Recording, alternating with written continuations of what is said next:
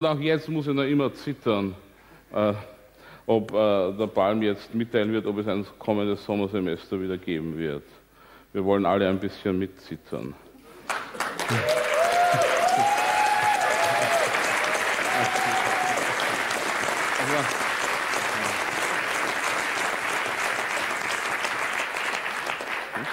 Ich habe jetzt gar nicht äh, überrissen, dass das eigentlich ein Appell ist zu applaudieren. Das, sehen Sie, so, also, so bin ich. Also, ich merke gar nicht, dass das eigentlich ein Appell ist. Oh Gott. Fettwerk seid ihr Leute schon Fettwerk selbst? Ja? Ja, ja. Ja. Mhm, mhm. Äh, Damen und Herren, Schwestern und Brüder. Nun ist äh, äh, diese Sehnsucht, ähm, einzutreten in den Zustand der Nichtkatastrophe, eine große mütterliche, also das heißt, wir, wir sehnen uns dann wiederum nach der Mutter, wenn eine Katastrophe eintritt. Zum Beispiel, ich glaube, ich hätte heute noch mal erschreckt Mama schreien. Das war, ich weiß es nicht, aber ich könnte sein.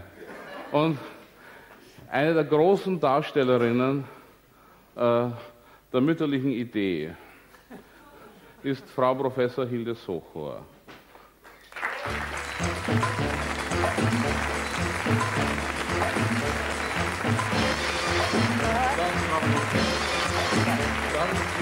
Ja, danke.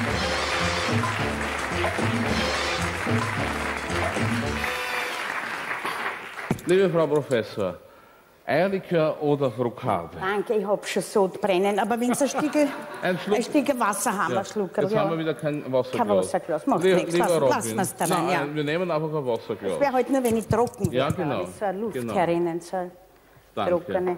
Danke. Danke. Liebe Auf Ihr Wohl. Ja. danke, dass Sie Samstagabend hierher. In der Tat nur wir trocken. Also es ist, ein Ja? es ist auch einer der Punkte. Ich habe nämlich, bevor wir zum Plaudern anfangen, vier grundsätzliche Problemkreise, die ich mit Ihnen erörtern möchte. Ich habe mir das aufgeschrieben. Äh, der erste Problemkreis ist also folgender. Es geht um die Problematik der Lagerung von Erdäpfeln in beheizten Wohnungen. äh, wie lösen Sie diese Problematik? Ja, ich esse weder Erdäpfeln, weil die machen dick. Und das Gemüse, eigentlich ehrlich gestanden, schauen Sie, ich lebe allein jetzt. Ich mache nur so tiefgekühlte Backeln auf, wenn ich zu Hause bin.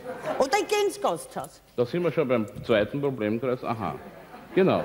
Nämlich der zweite Problemkreis ist die Rhythmusproblematik der nachtagierenden Persönlichkeiten. Der Nackt oder Nacht?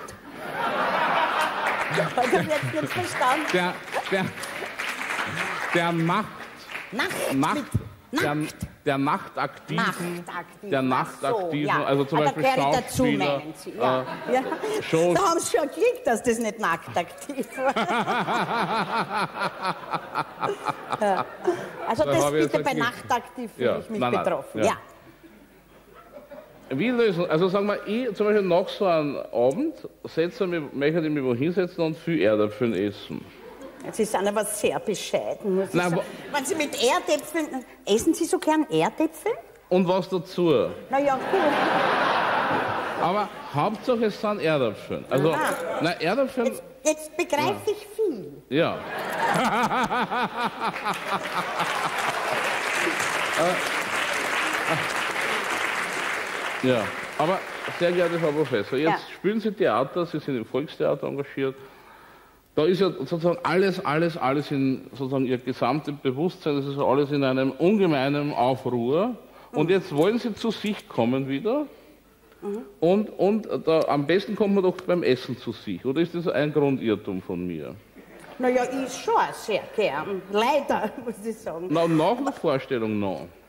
Ja, das ist halt der Jammer bei unserem Beruf. Nicht? Ja. Vor der Vorstellung, jeder, jeder Arzt oder jeder, der Ihnen eine Diät gibt, ich habe solche Berge Diät. Ja, Wenn Sie ja. was brauchen, können Sie mich anrufen. Ja, wegen, Ja. wegen Diät. Ich habe also so, meine, meine Tochter, wie sie noch kleiner war und die Jünger, hat mir so eine ganze Mappe gemacht und da steht vorher, da hat sie so ein Mandelhinzeichen so und dann steht nachher und das ist so. Also, Ja, ja, ja, Das habe ich nie geschafft. Aber. Aber jedenfalls überall steht dann, ja, also am Abend nichts mehr essen. Naja, machen Sie das, wenn Sie beim Theater sind. Ja, eben. Das geht Und, ja nicht. Aber jetzt gibt es in Wien, also ich ersehne Folgendes. Also ich gehe ja immer am Westbahnhof in diesen Speisesaal essen. Ja. Der ist groß, hell, da sind Tische im Saal, da ist keine Musik. sind meistens in einem Gasthaus. Ja, aber das sind halt. Ja, aber, Die schön aber sagen.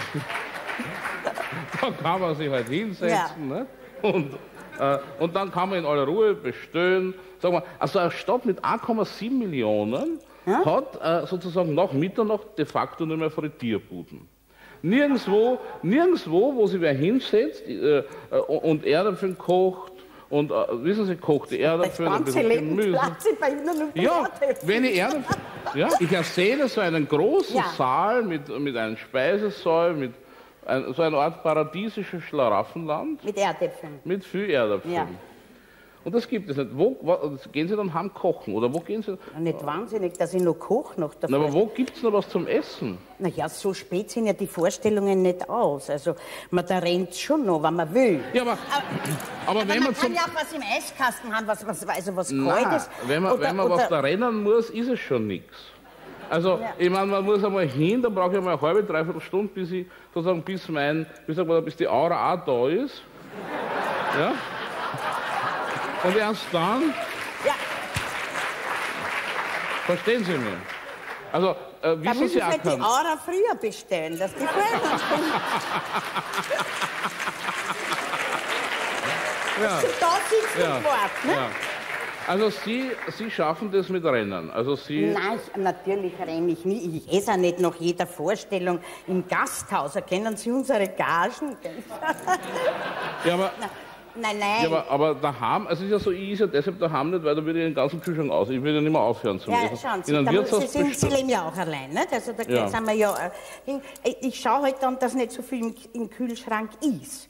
Also was ich dann manchmal ist, sage ich, wenn ich irgendwo was hervor, hervorziehen Mhm. kann, noch irgendein alten Ding, weil ich eben schaue, dass nichts mehr zu Hause ist.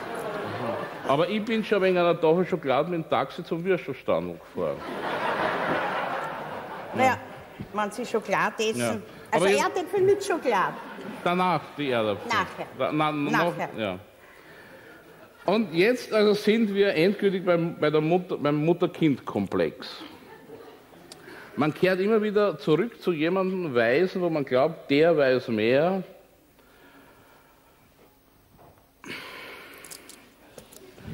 Fragen Sie mal meinen Sohn. Äh, Herr, Herr, Herr Professor, glaube nicht, Herr Professor. Paulus Ja. Manka, Ja, haben Sie denn gezwungen, Schauspieler zu werden? Gott behüten. Der wurde von allein. Der wollte der wollt nie was anderes. Wir haben überhaupt keines unserer Kinder gezwungen. Wir haben drei Kinder, also ich habe drei Kinder. Mein Mann war also äh, Regisseur, Bühnenbildner, Theaterdirektor, ich war Schauspielerin oder bin noch Schauspielerin. Und Wahrhaftig also, sind Sie Ja, dann, dann, also meine älteste Tochter ist Schauspielerin, mein Sohn ist Schauspieler und, und die jüngste, die hat dann das Einzige gemacht, was eigentlich noch möglich ist, wenn vier Leute in einer Familie beim Theater sind, die äh, macht Psychiatrie.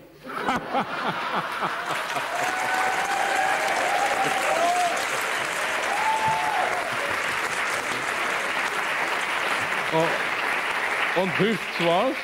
Na, na, so weit ist sie noch nicht. Also sie ist, sie ist fertige Ja, Ärztin ja, und macht ja, jetzt die. Fachaus, Facharztausbildung und zwar, aber sie hat, sich, sie hat sich entschlossen, Kinder- und Jugendpsychiatrie zu machen und da rutsche ich schon durch.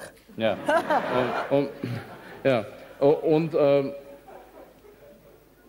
daher gibt es, äh, gibt es in Ihrem persönlichen Leben so einen Mutterkomplex-Problemkreis? Äh, gar nicht so wirklich. Ja, ich eigentlich. weiß jetzt nicht, was Sie unter einem Komplex Also, es verstehen. ist so, ich verehre ja Annie Rosar, äh, Therese Giese, Adele Sandro. ja, mich wundert äh, es so, dass ja. Sie, also meine, langsam wird mir ja unheimlich, weil Sie reden von lauter Tode.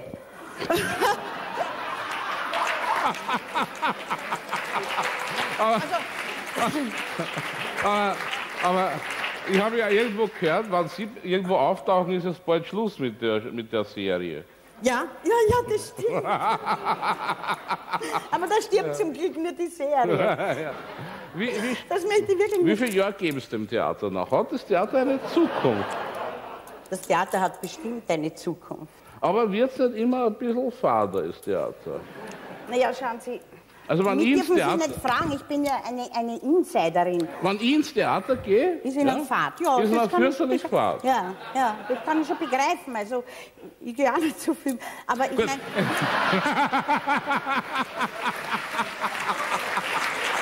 Ja, es ist. Wie, wie ich schon vor drei Jahren in dem Buch des Sparvereines 1000 Jahre Sparverein ausgeführt habe, ist es viel schöner hinter der Bühne als vor der Bühne zu sein. naja, es ist, es ist natürlich so, dass man, wenn man ein ganzes Leben lang, und bei mir wären es jetzt, glaube ich, 46 oder 47 Jahre, äh, äh, immer, immer mit Theater zu tun hat, dann äh, braucht sich das ja auch irgendwo ab, nicht wahr? Also ich gehe natürlich schon, wenn, ich, wenn was besonders Interessantes ist oder wenn ich in Berlin bin zum Beispiel und äh, gehe in die Schaubühne oder, aber, aber es ist nicht einfach nicht möglich in Wien immer an allem te- teilzunehmen, allein wo da schon so viele freie Gruppen sind. Und dann denke ich mir, nein, du musst ja eigentlich gehen. Weil, wissen Sie, es ist was Also, anderes, wenn es zum Beruf gehört, wenn es eine Pflicht ist, ins Sie Theater haben im Theater in der Drachengasse ja mal auch mitgespielt, mit da wurde Na, eine da ja Videoaufnahme. Ja, das war eine- da habe ich nicht mehr hingebracht, aber das war so wunderbar und das Ja. glaube ich auch, das zeigt auch, wie, wie dieses Filmen und Videoten und so weiter das, Fern, das Theater ein bisschen ablöst und man könnte diese Räumlichkeiten dann vielleicht nutzbringend und anders verwerten. Das Erdäpfelköller, oder was?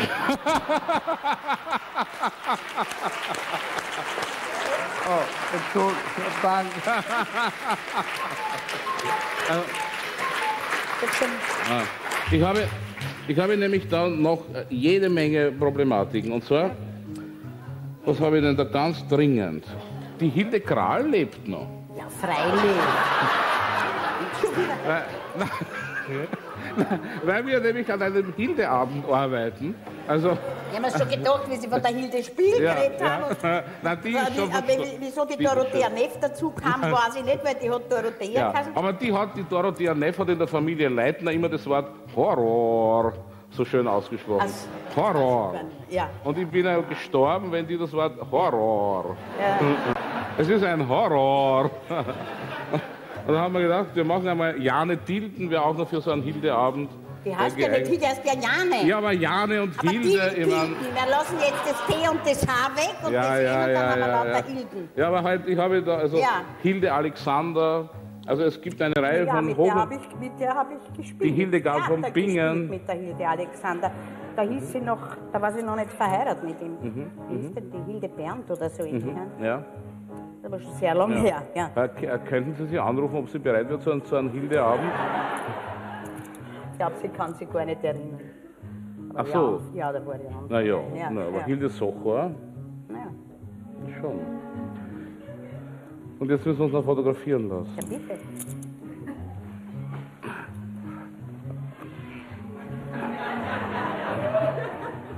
Ah, weh.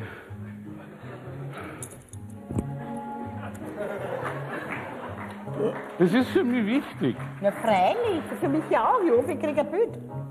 Äh. Schickt sie einem die zu? Oder? Da, darf Oder- ich sie Ihnen zuschicken? Ja? Ja, Sie müssen. Ich muss, Ja, ja. müssen kann nicht nein, sein, nein, denke das nicht wird, rein, wenn Sie nicht äh, das, äh, Würden Sie dem Robin die Adresse geben? Ich schicke es Ihnen morgen gebe zu. ich Ihnen, ja? ja. Gut. Und Was glauben Sie, was wird da, wie ich da steige in der Achtung meiner Enkelkinder? ach so. Wenn ich mit ihnen fotografiert bin. Nein, das darf nicht wahr sein. Ja, natürlich. Das müssen wir noch Dosen schießen zum Wochenaus. Dosen schießen zum noch. Für die Pfennig. Ah, ja.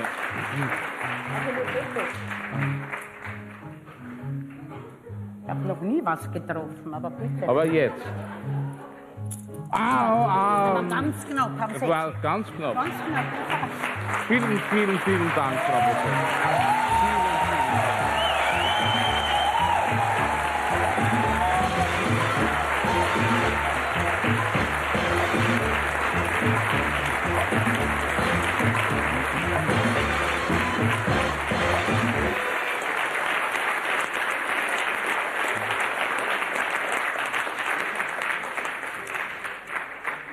Das Theater gibt noch starke Lebenszeichen von sich.